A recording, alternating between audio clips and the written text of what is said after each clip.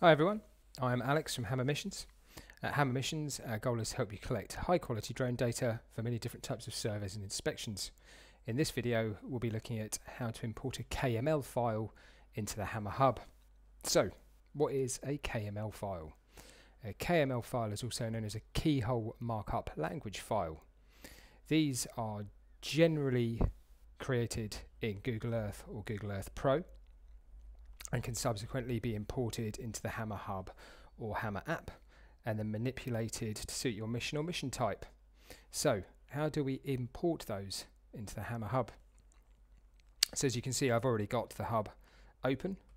So, we want to create a new file. We shall name that file Stonehenge. You shall see why shortly. Press OK. And then we want to open it.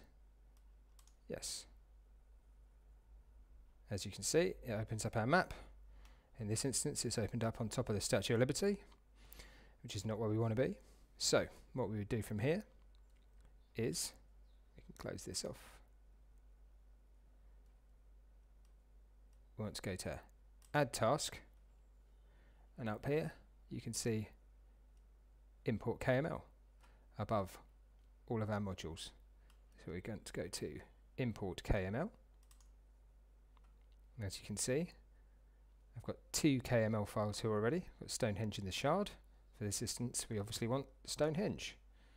So we can open that up. It doesn't automatically take us there. It gives us what modules we want to use with that particular KML. So in this instance, we're going to use mapping. Click on mapping and there you go. That loads up Stonehenge, as you can see here. With our mapping coordinates already over the top.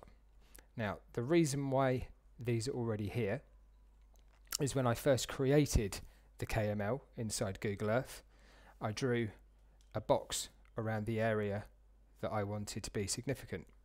And what that does is that then, then translates in the KML into Hammer Hub. So when you open Hammer Hub, you still have the same box which I drew around in Google Earth.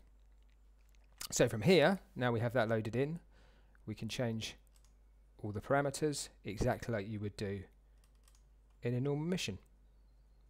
And that is how you import a KML file into the Hammer Hub.